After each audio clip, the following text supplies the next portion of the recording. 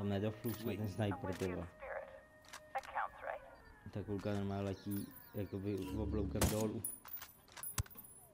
Ty krávo! Já to dal. A víš, jak jsem to udělal? Namířil jsem si tak půl metru nad tu věž, ty vole.